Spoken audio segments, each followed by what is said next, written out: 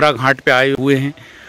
माँ नर्मदा जी के दर्शन करने और घोघरा घाट पर हम घोघरा संत कुटी में आए हुए हैं, जहाँ पर एक महाराज जी हैं, बाबा जी हैं, जो लगभग निन्यानवे साल के हैं और यहीं पे विराजमान हैं। चालीस साल लगभग एक ही स्थान पर तपस्या करते करते हो गए हैं बाबा जी को। हम बाबा जी के पास चलते हैं। बाबा जी नर्मदे हर।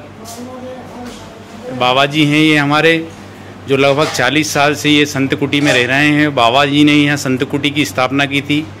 इसको घोघरा कुटी के नाम से भी जाना जाता है। और यहाँ पर बाबा जी के पास जब हम आते हैं तो काफ़ी मन को शांति मिलती है। ये घोघरा घाट है, संत कुटी है, घोघरा कुटी के नाम से भी जानी जाती है।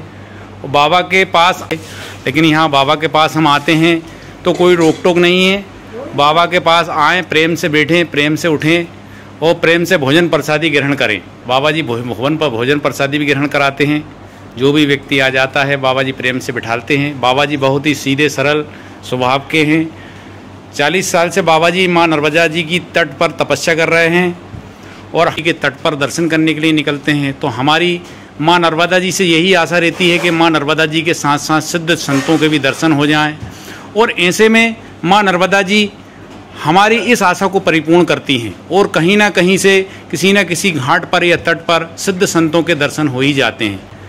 माँ नर्मदा जी के तट रहस्यों से भरा हुआ है और माँ नर्मदा जी के तट पर आज भी माँ नर्मदा जी के बिल्कुल किनारे किनारे आपको गुप्त और सिद्ध संत मिल जाएँगे, जिनकी हमें जानकारी नहीं है और हम वीडियो के माध्यम से ऐसे ही गुप्त और सिद्ध संतों के दर्शन वीडियो के माध्यम से भक्तगणों को, दर्शकों को कराना चाहते हैं।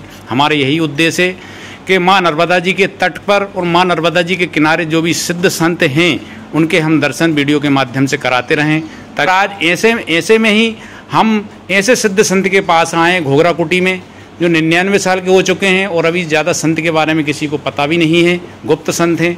माँ नर्मदा जी की भक्ति करते हैं दिन भर राम राम जपते हैं, ऐसे ही सिद्ध संत हैं हमारे घोघरा कुटी वाले संत। बाबा जी नर्मदे हर। जी बाबा जी की बाबा जी की दाल बन रही है। बाबा जी दाल बना रहे हैं। बाबा जी के हाथ का ये दाल बन रही है बाबा जी की। बाबा जी बिल्कुल अच्छा महाराज जी दाल को बेकुंटी बोलते हैं। सिद्ध संतों की भाषा में दाल को बेकुंटी कहा जाता है। ये बेकुंटी तैयार हो रही है बेकुंटी बन रही है। महाराज जी के बेकुंटी तैयार कर रहे हैं। महाराज जी।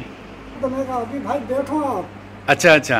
आप बैठिए प्रसाद पा के जाइए। हाँ प्रसाद प्रसाद ग्रहण करके जाएँगे महाराज जी। प्रसाद पा के जाना ग्रहण करना। हाँ। माँ का भोग लगाते हैं और फिर प्रसाद पा के फिर जाना आप चले मत जाना। जी, जी, जी। जी महाराज जी जी महाराज जी। महाराज जी जी।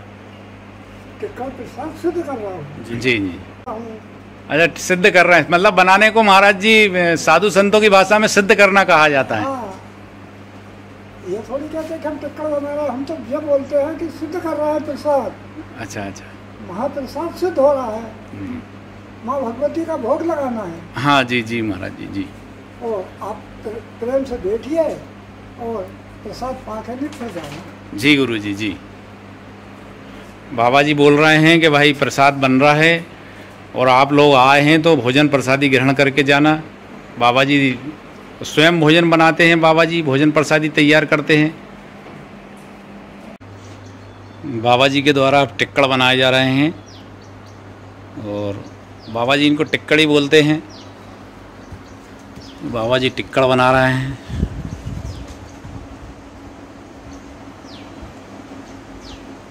बाबा जी निन्यानवे साल की उम्र में हो, निन्यानवे साल की उम्र हो चुकी है, लेकिन फिर भी बाबा जी भोजन प्रसादी अपने हाथों से ही बनाते हैं। और माँ नर्मदा जी को भोग लगाते हैं। ये एक बहुत बड़ी बात है। इस उम्र में भोजन प्रसादी बनाना, इतनी मेहनत के साथ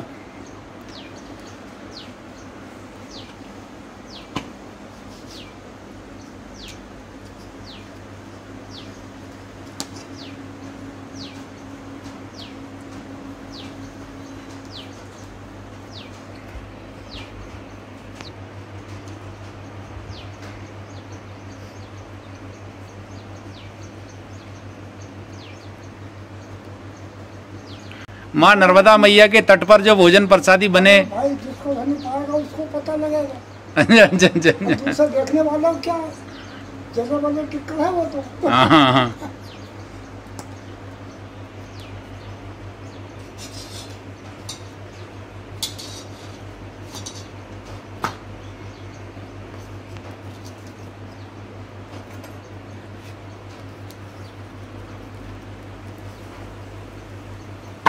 बाबा जी द्वारा टिक्कड़ बनाया जा रहा है। बाबा जी से हमने बोला कि बाबा जी हम मदद करवा देते हैं तो बाबा जी कह रहे नहीं। आप लोग बैठे हैं, आप लोग भक्त हैं, आप लोग हमारे अतिथि हैं तो बाबा जी स्वयं बना के भोजन प्रसादी आज खिला रहे हैं। और बाबा जी का प्रेम, इतना प्रेम है कि, और ऐसी भोजन प्रसादी तो एक सौभाग्यशाली मनुष्य को ही प्राप्त होती है, वो भी माँ नर्मदा जी के तट पर भोजन प्रसादी, वो भी सिद्ध संतों के हाथ का अगर भोजन मिले तो बहुत ही सौभाग्यशाली होते हैं। और जीवन सफल हो जाता है ऐसे सिद्ध संतों के हाथ के भोजन प्रसादी ग्रहण करने पर। संत के हाथ का भोजन करना तो एक सौभाग्यशाली, सौभाग्य की बात होती है।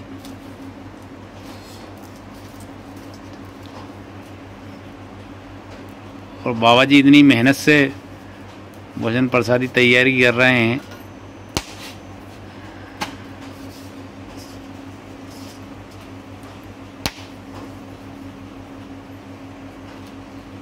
अच्छा बाबा जी जब ज़्यादा लोग आ जाते होंगे तो फिर आप उनसे बोलते हो कि भैया चलो बनाने में मदद करवाओ। वो तो बात ये है। हाँ। कि चार पाँच तक तो हम बना देते हैं आप। बना लेते हैं। अब ज़्यादा हो जाओगे तो फिर वो तो करना ही पड़ता है।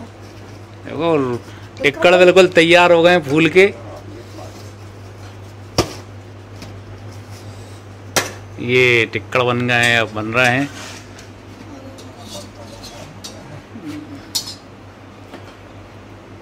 और हमारे तो सौभाग्य हैं। हो सकता है पिछले जन्म में हमने कोई ऐसे पुण्य करे हों कि हमें सिद्ध संतों के भोजन प्रसादी ग्रहण करने का मौका मिला है।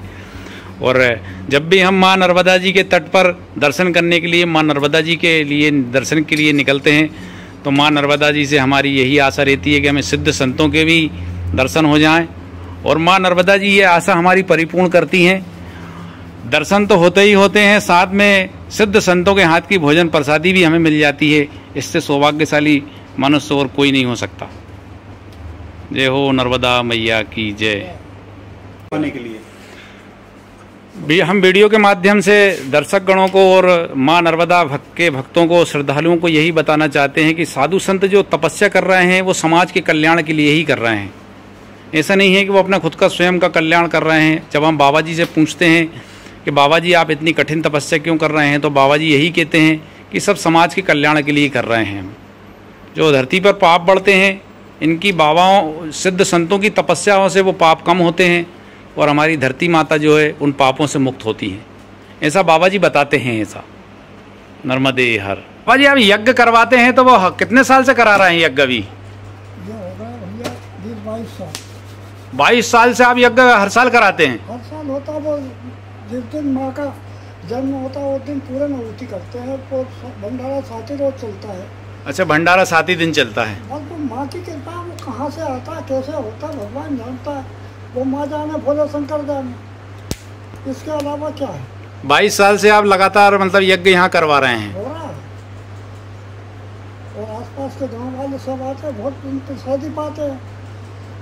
और जो भी आता है उसको भोजन प्रसादी पाओ और दर्शन करो।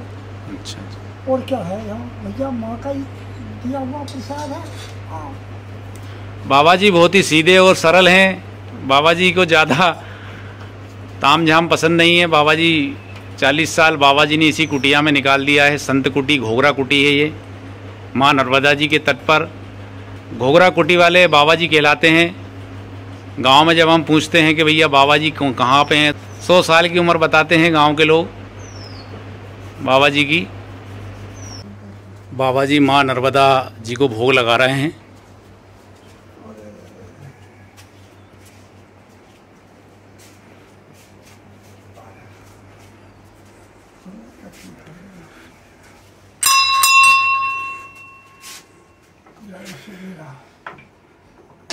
संत कुटी में जब भी भोजन प्रसादी ग्रहण तैयार होती है तो सबसे पहले माँ नर्मदा जी को भोग लगता है। बाबा जी माँ नर्मदा जी को भोग लगा रहे हैं। इसके बाद ही भोजन प्रसादी ग्रहण की जाती है।